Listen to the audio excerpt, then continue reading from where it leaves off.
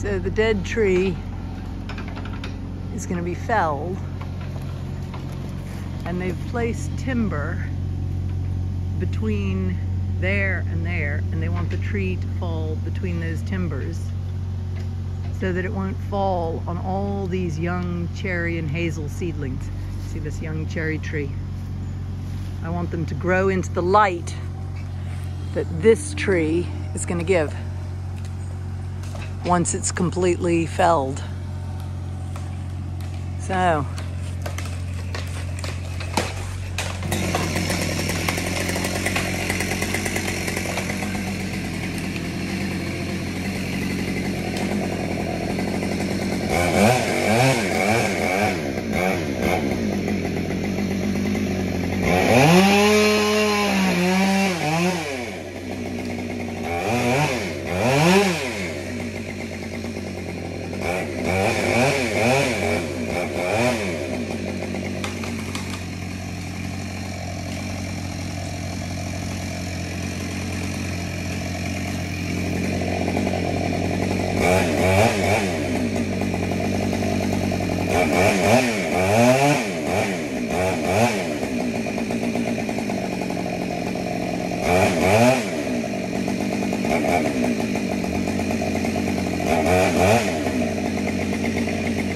He's being very careful in assessing where it's going to fall.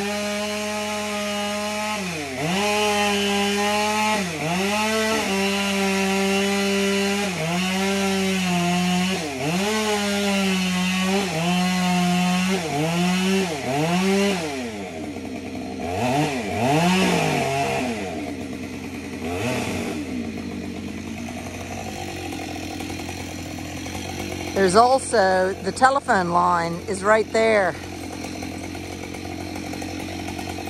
on the other side of the tree.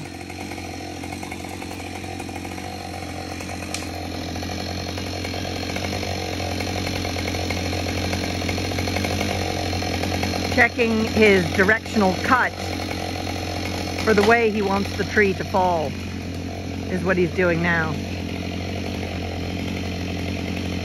Mm-hmm.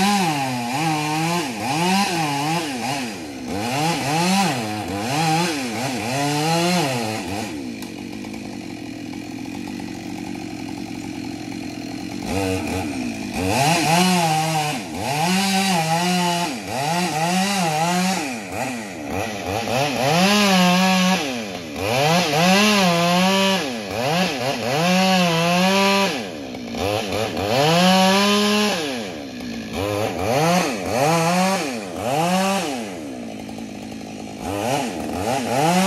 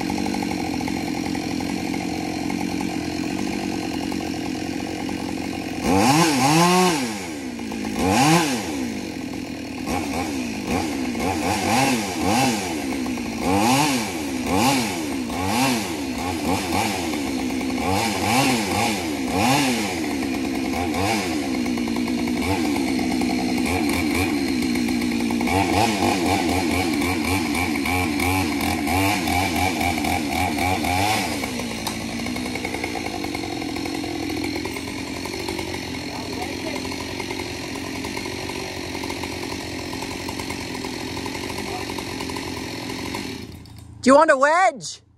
Wedges. Uh, Eagles is small, big hole in this corner.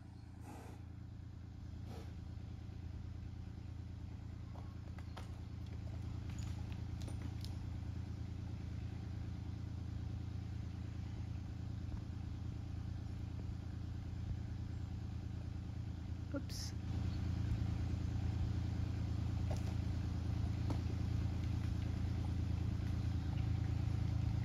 I blew that out trying to get it so that you could see what he's doing.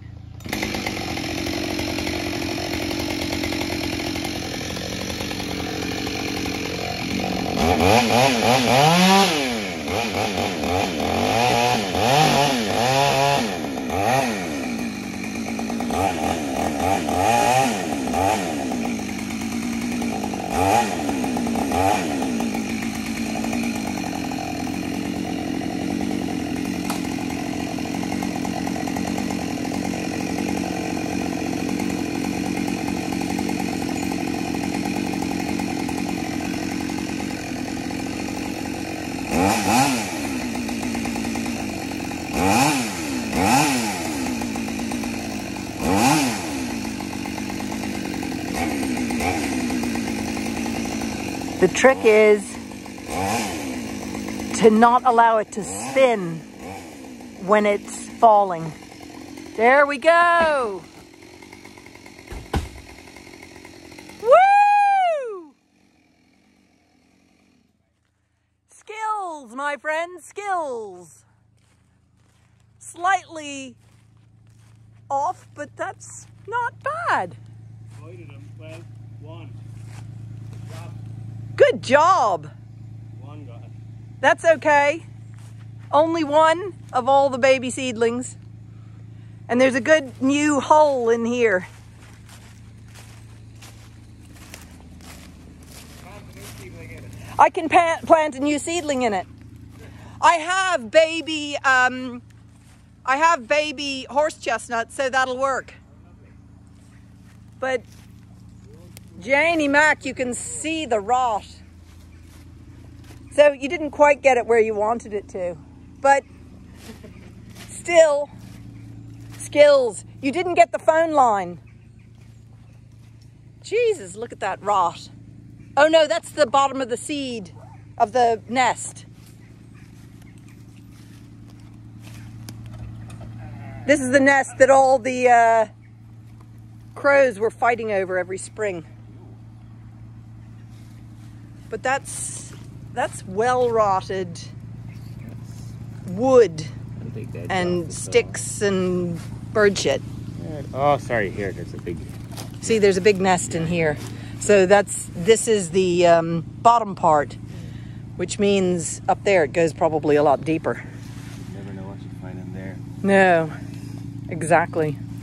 Stones and everything. Yeah, because they're building a nest. Still an edge on that saw. Yeah, good question. Is there still an edge on the saw with all that grit? Kind of, not really. I'd say not really. By the look of that grit, you kind of took the edge off. Well, the next bit will be easy. Er.